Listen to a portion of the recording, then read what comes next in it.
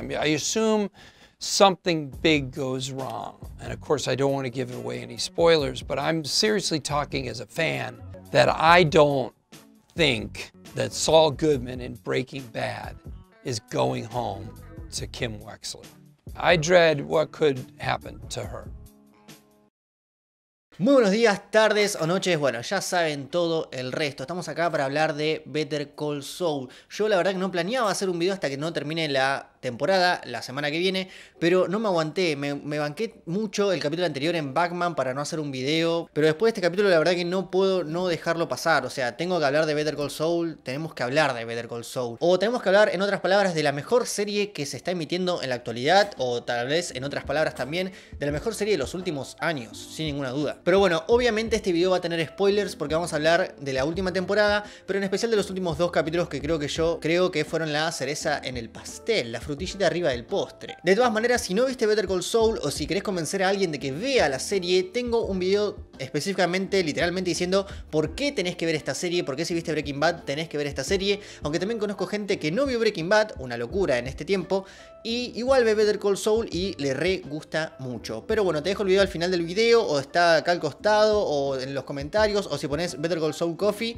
tengo ese video y uno analizando los colores. Basta de chivos. Si me siguen en las redes sociales de Coffee sabrán que semana a semana siempre pongo, la verdad que esta es la mejor serie que se está emitiendo ahora, este capítulo es tremendo, y a la otra semana digo, ¿se acuerdan cuando dije que el capítulo anterior fue el mejor de todos? Bueno, este es el mejor, y así, y así, y así, porque la verdad que es una serie que está tan en crecimiento, constantemente, eh, abarcando tanto con tanta sutileza que es imposible no admirarla hoy en día, porque la serie se toma su tiempo constantemente para construir estos personajes que hace que los creamos tanto, con una sutileza tremenda. Tal vez tiene el, mejor desarrollo de personajes que una serie puede tener de todas las que vi, incluso mejor, eh, incluso creo que es un mejor desarrollo de personajes que el de Breaking Bad, porque esta serie los profundiza tanto que se ve todo mucho más creíble, todo más profundo que con Breaking Bad. Pero bueno, este video no es para comparar, no les voy a decir que una serie es mejor que otra, que Saúl ya superó a Breaking Bad, porque eso sería adelantarme ya que la serie todavía no terminó y teníamos ese mismo prejuicio con GOT. Algunos decían, esta es la mejor serie de la historia, yo decía, no, esperen, guarden que no terminó todavía. Pero bueno, eso siempre va a ser debatible, va a ser siempre de preferencia de cada uno, eso no importa. ¿Está al nivel de Breaking Bad, Better Call Saul? Sí, absolutamente. ¿Puede llegar a superarla? Por supuesto que sí, qué duda cabe. ¡Qué duda cabe! La verdad que toda esta temporada se basó en Kim Wetzler. Kim es el mejor personaje de la serie y creo yo que es el mejor personaje del universo Breaking Bad. La verdad que amo a Kim. Es imposible no amar a Kim Wetzler. Es la verdad que, no sé, quiero que la vida me cruce con una Kim Wetzler, pero no para cagarla como hace Jimmy, sino que para cuidarla con todo mi alma, porque la verdad que es un personaje que se construyó tan bien desde un inicio. En las primeras temporadas parecía que simplemente parecía un interés amoroso para, para Jimmy McGill, para Saul Goodman, pero tranquilamente podría tener su propio spin-off que yo lo veo, yo lo veo. En esta última temporada Kim toma mucho más protagonismo que incluso Mike o incluso Gustavo, que eran como la otra pata de, de la serie con, bueno, la otra, la historia de Jimmy, ¿no? Pero bueno, todo el desarrollo de esta temporada fue para que querramos a Kim, para que le tengamos cariño, para que nos preocupemos por ella, y yo creo que eso, la verdad, es lo que pasó. Primero hablemos un poco de Batman, el capítulo anterior, el capítulo número 8, que hasta hace unas horas era el mejor capítulo de Better Call Saul, sin ninguna duda. O sea, era el mejor de todos. Técnicamente no hay nada que cuestionar o que hablar los planos son obras de arte, son pones pausa y como digo yo, tenés un cuadrito. Pero no solo eso, sino los recursos que usa la serie creo que están totalmente mejorados. Uno de los aspectos lindos que tenía Breaking Bad era el juego que usaban con las cámaras, cómo te ponían la cámara en lugares imposibles y hacía que todo sea mucho más placentero. Se nota que Vince Gilligan es un tipo que quiere mover la cámara, que, le gusta que la cámara esté en, en constante movimiento. Eso depende de cada director. Hay directores que te toman toda una conversación de un solo plano y hacen que los personajes se muevan para contarnos algo. Hay directores que te lo cambian por plano contra plano, plano contra plano.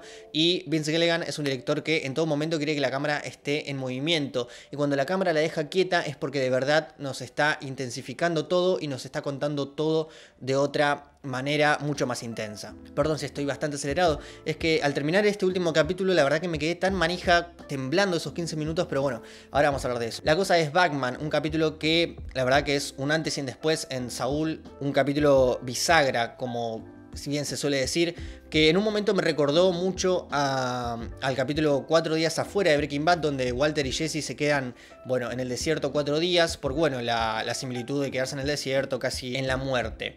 Pero también creo que tiene muchas similitudes, como bien se vio en internet, con Ozymandias, el mejor capítulo de Breaking Bad para mí, el mejor capítulo de, todos. La diferencia es que ese capítulo de Breaking Bad cambia un antes y un después en Walter White, donde pasa a ser Heisenberg. En este capítulo, si bien hay un clic en Saúl, como lo vimos en este último capítulo, en el de las malas decisiones, creo que va a venir algo más potente todavía para Saúl y Vince Gilligan, el director, el creador de la serie, lo sabe muy bien a esto. Él nos está diciendo, acá va a pasar algo terrible, tremendo. Esto es el Dos Mandias de Saul Goodman, pero en realidad después nos la deja picando para que nosotros nos entusiasmemos más y nos preocupemos más.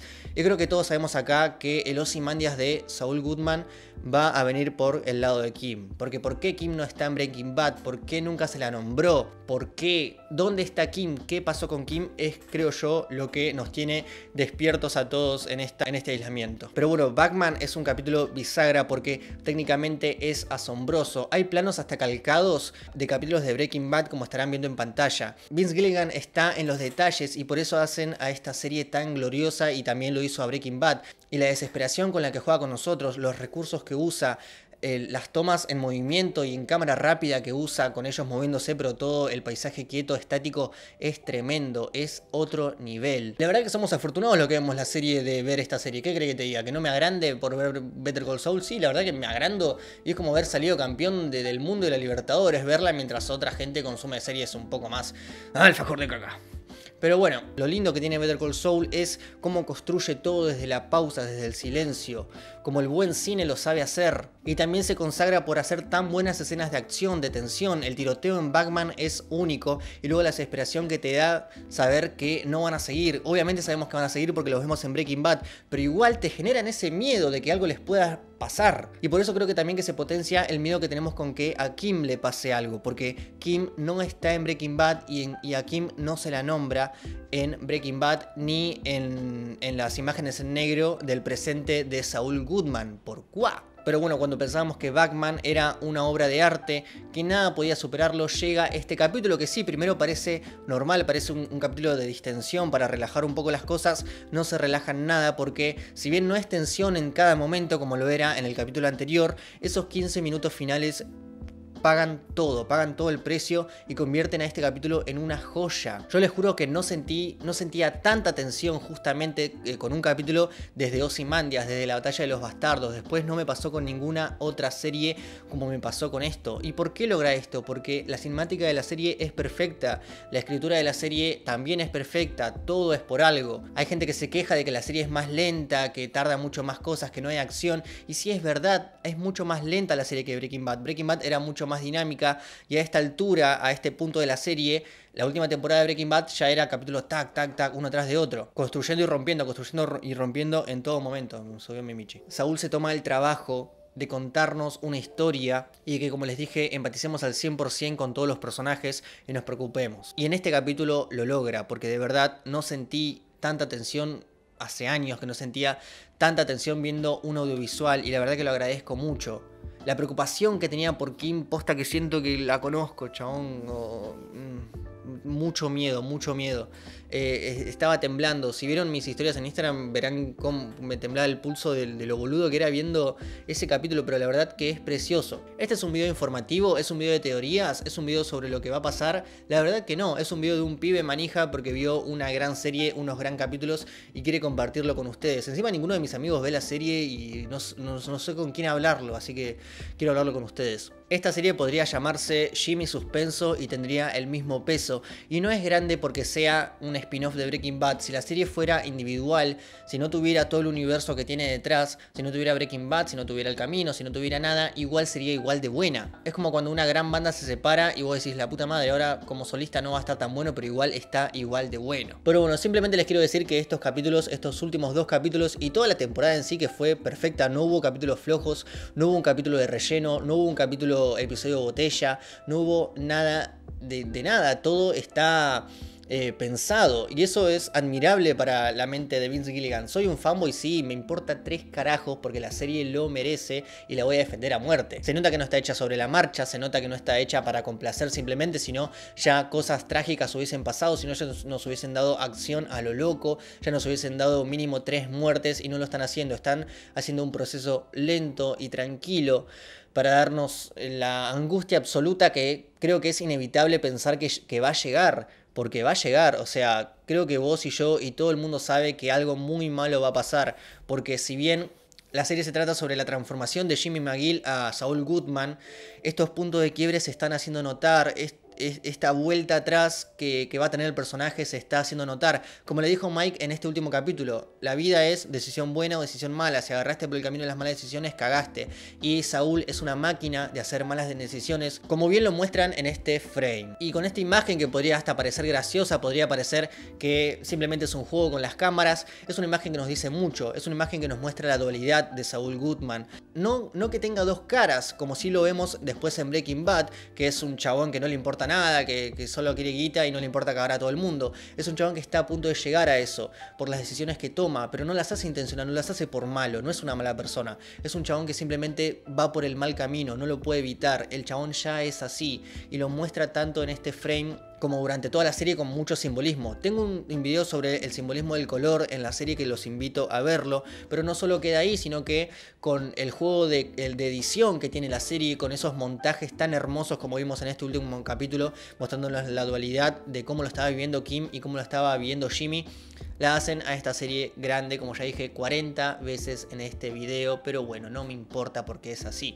Vos te das cuenta que una serie es buena cuando no solo te está contando con el guion, no solo el guion es bueno, sino que más allá de que la fotografía sea impecable y queramos poner todo adentro de un cuadrito, no alcanza con poner a los personajes en cuadro. Alcanza con que nos cuentes algo con el movimiento de cámara que estás haciendo, con que no cortes el plano de tal manera, con que Kim esté ubicada en ese lugar y esté vestida de esa manera y que las sombras le peguen de tal manera en la cara. Parece una estupidez, pero en el cine importa mucho. En el cine no solo contás con el guion, contás con la cámara, contás con el movimiento de cámara, contás hasta con el encuadre. ¿Vieron las, franjas negras de los costados? Con eso también contás y obviamente con la música también, con los silencios. Cuando Mike está apuntando a Lalo y Lalo no se va de la casa, hay una música de tensión que suena en todo momento atrás y que no corta hasta que no sale del edificio beneficio entonces, más allá de que sepas de que Lalo salió por la puerta, igual tenés esa, tensión, tenés ese miedo, tenés esa cosquilla adentro, porque esa música no terminó. Y bueno, gente, creo que no hay más nada para analizar. Este en realidad era un video rápido para sacarme la manija de encima. Son las 5 y 39 de la mañana.